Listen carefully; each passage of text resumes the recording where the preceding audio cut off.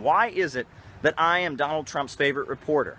Communism is nothing but the most successful form of fascism. You know, during the presidential election, I saw uh, Donald Trump speak, and there were many times that he spoke, and I applauded. I heard him talk about how, you know, there's this elite that is not loyal to the United States, these international bankers. I applauded when he said that. When he talked about how, you know, in Syria, we, you know, or in Iraq and all these countries, we have attacked them, and the result has been terrorism getting stronger, and that the U.S. population is gaining nothing from these wars. I applauded when he said that. You know, populism is the future. Black Lives Matter, which is this activist group that has been funded and, and supported by the highest levels of the U.S. political establishment, but if you look at the modern left, if you look at the people that are going around and protesting against Donald Trump, that makes sense. A lot of them are self-hating, and there's a real worship of weakness in left-wing circles. The first thing uh, that happens to young people when they when they go to the university and they take gender studies or race studies or queer studies is they're immediately told that you know that, that their identity, the way that they are as a person, is wrong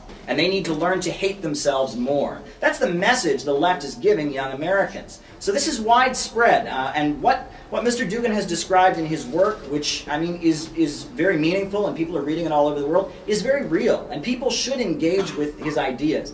One of the primary activities that the global elite is engaging in right now is holding back progress, and that this left that they have unleashed essentially is a destructive left. You know, all throughout the United States, they are tearing down Confederate monuments. The Confederacy was an awful thing. I mean, not just for African Americans, but for white people. But as long as it's just people in the streets breaking windows, smashing things, tearing things down, they love it. Because the notion on the political left is not just that it's wrong to have Confederate statues.